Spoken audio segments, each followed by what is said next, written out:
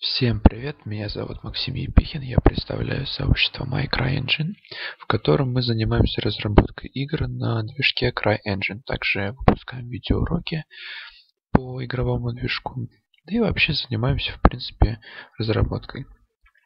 Сегодня мы начинаем курс видеоуроков по CryEngine, конкретно по FreeSDK, потому что мы пока не собираемся платить э, деньги за подписку, поскольку толком ничего не изучили в CryEngine и предлагаю вам начать изучать его вместе. По ходу того, как мы будем его изучать, мы будем выпускать видеоуроки, и вы сможете научиться чему-нибудь новому. А, ну что ж, начнем. Первое, что мы сделаем, это скачаем его, соответственно, и зарегистрируемся. Мы переходим на сайт cryengine.com, community. А, здесь вы можете зарегистрироваться, это я уже сделал, и залогиниться, если вам интересно общение на форуме. Далее мы переходим во вкладку Downloads, где мы можем скачать uh, CryEngine Free SDK. Uh, нажимаете Download, качаете, а я пока расскажу вам маленькое описание, которое предоставлено на самом сайте. А, если вкратце, то нам говорят, что мы можем использовать а, FreeSDK только для разработки некоммерческих приложений. И никогда больше FreeSDK обновляться не будет с момента 8 декабря 2014 года. Ну что ж, ладно. Это, в принципе, хороший ход по тому, чтобы пользователи начали платить. Ну, я, например, бы сам заплатил, но хочу его начало очень сильно так помучить. Ну, ладно, предположим, мы скачали.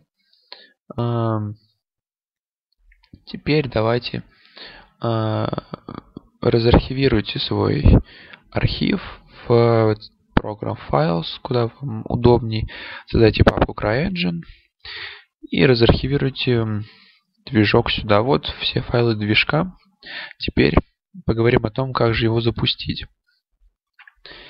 Bin32 и Bin64 являются папками для запуска редактора. Собственно, если у вас 32-битная система, переходите в Bin32, запускайте файл editor. Если 64, в папку Bin64 editor.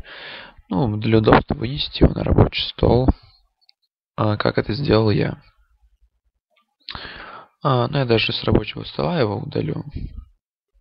Потому что у меня есть он вот в этой панельке. Ну и теперь давайте запустим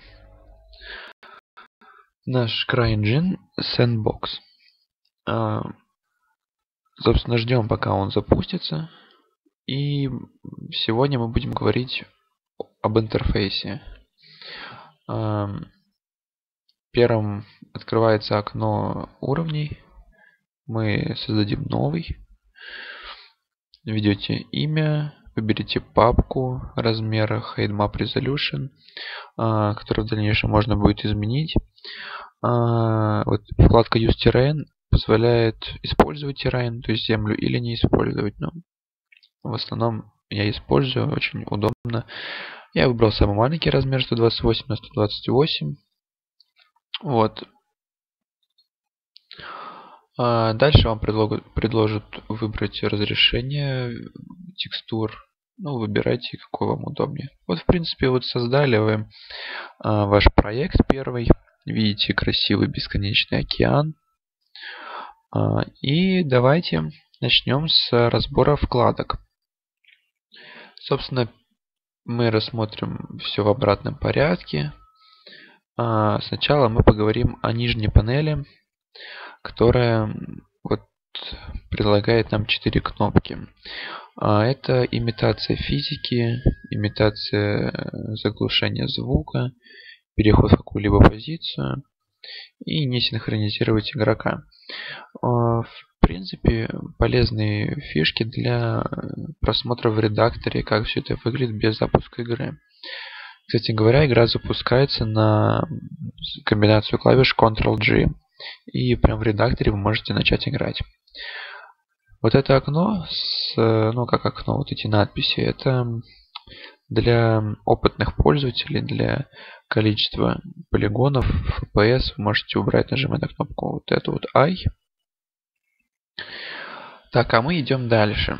Верхнее меню, файл стандартное, но ничем не отличается. Мы можем также его куда-либо передвигать.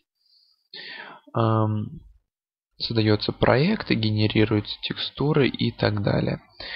В общем, это, я думаю, вы разберетесь сами, если захотите. Ну и в дальнейших видеоуроках мы будем использовать, конечно же, какие-либо эти окна, и о них тогда и поговорим.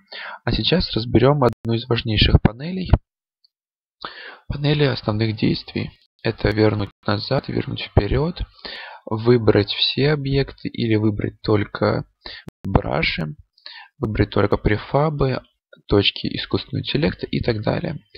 Следующая панелька отвечает за выбор объекта, перемещение объекта, а, поворот, размер и выбрать как бы а, зону в терране. Следующая панель, вот View, например, да, мы можем выбрать тип обзора. А вот эти четыре кнопки позволяют нам зафиксировать какую-либо э, ось. То есть, чтобы мы не могли передвигать по этой оси. Следующая кнопка Follow Terrain, она нужна для того, чтобы э, при создании новых объектов объект максимально точно старался при, прилегать к террайну, чтобы не было никаких углов торчащих, но по возможности, соответственно, он будет это делать. Ну и вот э, следующие кнопки, отвечающие за сетку и так далее.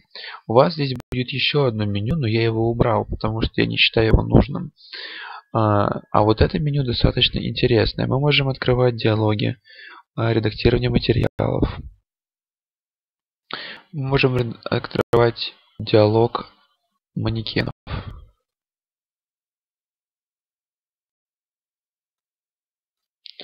А о них мы тоже будем разговаривать по мере поступления.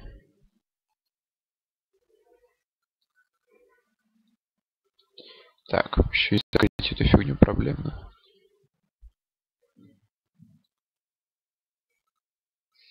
Um, окно редактор, э, редактора и персонажа. Вот наш персонаж. Его кости. Вот. Редактируем его анимации и так далее. А, ну и остальные окна. А, такие, ну, да, например, тут база данных, FlowGraph. FlowGraph это визуальное редактирование и прочее. Ну, следующее окно, которое мы рассмотрим, оно тоже является очень основным. А, это роллабар. Роллабар нужен для создания объектов. Ну, оно очень похоже на Maya, на 3D Max, как бы кастомизацию, да, то есть ну, визуально, как она выглядит. Значит, первая вкладка это по объектам. Мы можем создавать искусственные интеллекты, разные зоны. Вот, например, мы можем создавать объекты brush, да, например, эм, какие-либо камни, и так далее. Следующее, очень важное entity, мы создаем уже непосредственно ключевой объект, не являющийся брашем. Ну, например, дверь. То есть entity это объект, который уже подразумевает набор каких-либо скриптов, и с которым мы будем работать уже непосредственно в игровом процессе. Следующее MISC. Я буду выборочно рассказывать, который юзал потому что, напомню, я не являюсь профессионалом в CryEngine. Я буквально только перешел на него и уже посоздавал парочку вещей, и мне очень понравилось. Эм, – это создание камер каких-либо дополнительных, а, дорог, рек, веревок и прочего, что нам тут предлагает. На самом деле, когда мы переходим из одного движка в другой, мы очень сильно удивляемся либо недостатком, либо наоборот тем новшеством. Я был очень сильно и приятно удивлен тому, когда я перешел с Unity 3D на CryEngine, и мне предлагают создавать дороги, не платя за это денег. Это очень круто, мне безумно нравится этот движок, а, потому что в Unity 3D я проработал год, и толком ничего не получил. Ну, только кроме опыта программирования. А следующая вкладка это Terrain. Мы можем модифицировать его, можем создавать, как бы редактировать э, туман и прочее, прочее, там скайбоксы разные, то есть вот это основная настройка. А следующее vegetation мы можем как бы как в Unity Terrain Tool, да, мы можем создавать объекты природного происхождения, можем создавать разные скалы, ну, уже именно из игровых объектов. Это очень полезный э, элемент именно для Terrain эдитора, потому что э, именно здесь они стараются полностью прилечь к Terrain. То есть они создаются только так, как нужно, а не как обычный объект, который мы в дальнейшем можем настраивать повороты его сами. Эти повороты мы настраивать не сможем. Эм, следующий давайте разберем тогда Layer Painter – это утилита для редактирования текстур, точнее рисования текстур, если быть грамотным. Но об этом тоже позже. А, собственно, наверное, давайте на этом закончим. Это был очень краткий обзор интерфейса.